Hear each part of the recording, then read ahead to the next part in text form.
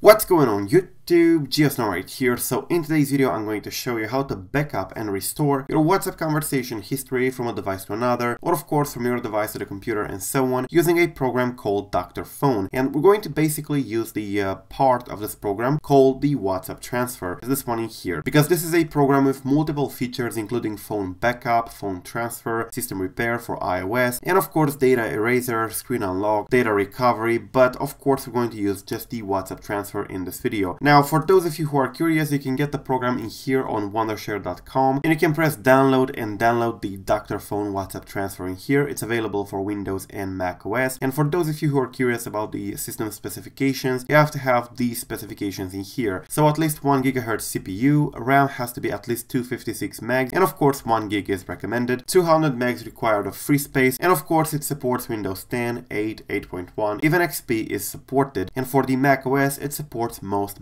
macOS versions. Now, if you still need help and support with this program, they do have in here a very good help and support page where you can find your help. But let's see what the program can do. So I have connected a phone, an iPhone XS Max in here to the computer, and I'm going to press WhatsApp transfer in there. Now you can see that another program will start immediately, and we're going to move this one into the uh, dock. And as you can see, this is Dr.Fone WhatsApp transfer. It presents us in here four different options. Transfer WhatsApp messages, backup WhatsApp messages, restore WhatsApp messages to iOS, or restore them to Android. And with this program, you can even backup an Android device and transfer it to iOS or vice versa. I'm going to go ahead and backup my messages in here and I'm going to press this button right away. And of course, it connects to the device. This is actually very well made. It's actually very easy to use, which is very, very good because many people are not that technical and they do prefer a easier to understand user interface. And in this case, as you can see, it's pretty straightforward. So as you can see, at this point it's backing up the uh, device. I'm going to wait for it to complete and I'm going to be right back. Alright, so as you can see it's performing a backup in the background, so we're going to wait for it to complete. Alright, so as you can see the WhatsApp data has been transferred to the computer, it's been backed up at this point and I can press OK. Now if I want to restore it back to the phone, for example after I restore the phone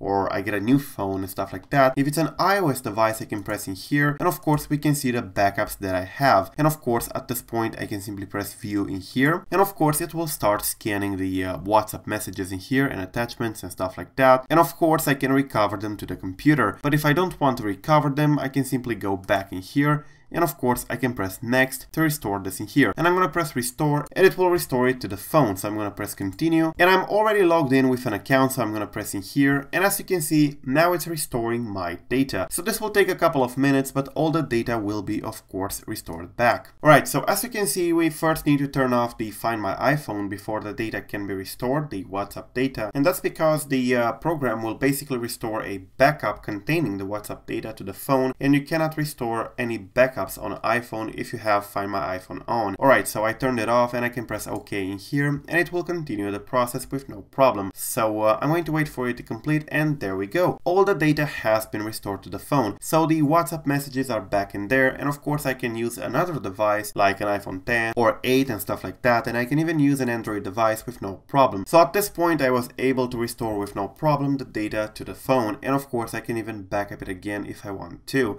Now of course you can even backup the Line, the Kik, Viber and WeChat if you have any of these applications in here. They are all supported in the same application. So this is basically the Dr.Fone WhatsApp transfer and you can find it available in here. And of course you can download it from the official Dr.Fone website. Thank you for watching. I'm Geo Snow. Till the next time, subscribe to stay updated and check out the program in the links below. Peace out.